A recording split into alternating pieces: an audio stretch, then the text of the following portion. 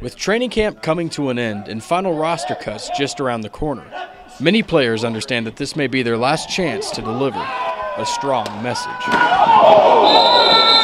making this camp much more intense. Uh, I feel like we got better today. Um, I felt like uh, we definitely we definitely got what, uh, what we were looking for in terms of our, our tempo and, and intensity.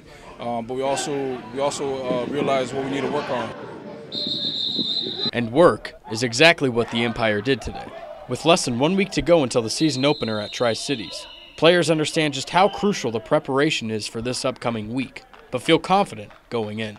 I feel like we're almost there. I feel like we're almost there. Uh, a couple more practices, and um, the competition has been has been unreal. Uh, I'm, I'm, loving the competition at practice, and we're getting better as, as a team. So I feel like we'll be ready. Yeah.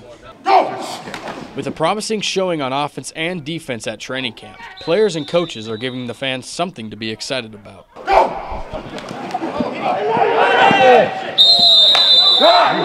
And after a day full of raw emotions, Coach Shack reminded the team one very important lesson. This is a business, this is a job. I'm telling you right now, you got more eyes on you than, than any team in this league. We are a family, right? Always. Family on three. One, two, three, family! For Inside the Empire, I'm Connor Harrison.